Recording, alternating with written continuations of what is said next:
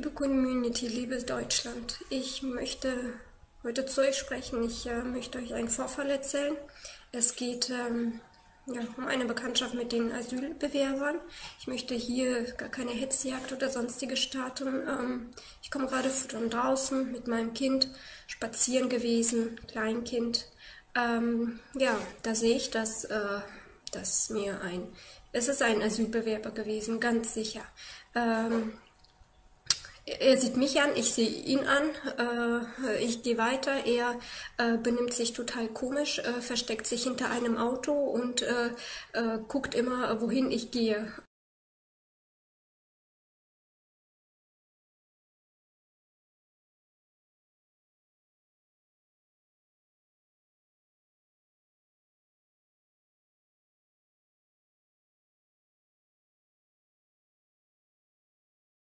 Augen oder noch Schlimmeres. Bei helligem Tageslicht ist es äh, 12.30 Uhr.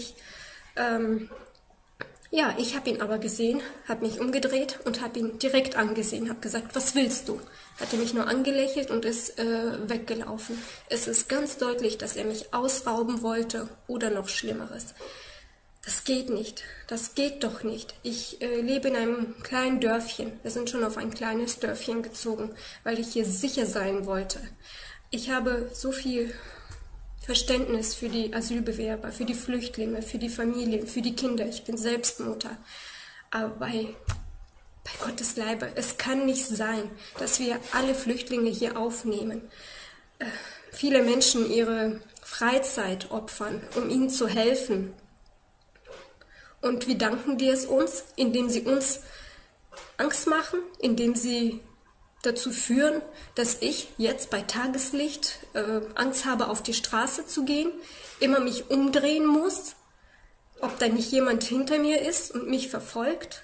Bis jetzt, bis jetzt ist es mir noch nie passiert. Aber in einigen äh, Kilometern von uns sind Asylbewerber eingezogen und äh, ja, und heute ist dieses, dieser Vorfall passiert. Ich habe Angst. Ich habe Angst. Ich habe Angst um mich, um mein Kind.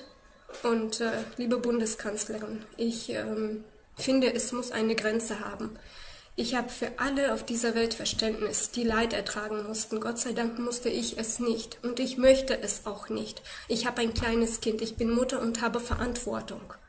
Und ich möchte, dass mein Kind in Sicherheit aufwächst. Und so wie es jetzt passiert, ist das nicht mehr sicher. Wir können nicht die ganze Welt aufnehmen. Deutschland kann es nicht. Deutschland schafft es nicht. Sie müssen mal aufwachen. Es gibt auch andere Länder, die Flüchtlinge aufnehmen müssen. Sie machen so Deutschland kaputt. Sie schaden damit ihrem Volk. Das geht nicht. Ich bin nur eine, ich habe nur ein Beispiel genannt. Ich habe davor immer die Augen zugemacht. Es gibt noch ein zweites. Mein Kind und ich sind auf dem Spielplatz. Fünf Männer, auch Asylbewerber, denke ich mal, weil sie nicht nach Deutschen aussahen, kaum Deutsch gesprochen haben. Äh, ja gut, sie haben die, sie haben eine Reinigung da gemacht oder was auch immer, aber nicht alle. Fünf Männer auf einem kleinen Kinderspielplatz.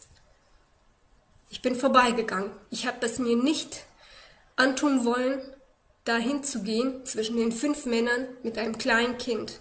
Selbst hier werde ich schon eingeschränkt und ich bin sicher nicht der Einzige hier. Ich möchte nicht mehr schweigen. Ich möchte nicht mehr die Augen davor verschließen, was hier gerade passiert. Ich finde nur, es muss jetzt ein Ende haben. Es muss Schluss sein.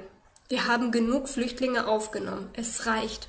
Die ich möchte, ich möchte wieder mich sicher fühlen. Und ich kann es nicht. Ich kann es nicht. Der heutige Tag hat vieles verändert und die, die Sachen, die ich davor erlebt habe. Ich möchte es einfach nicht mehr. Ich bin ganz sicher, liebe Community und liebes Deutschland, nicht der Einzige mit diesem Problem. Ich bin ein sehr toleranter Mensch und ich möchte nicht, dass dieses Video zu einem Hetzjagd gegen die Aus Asylbewerber wird.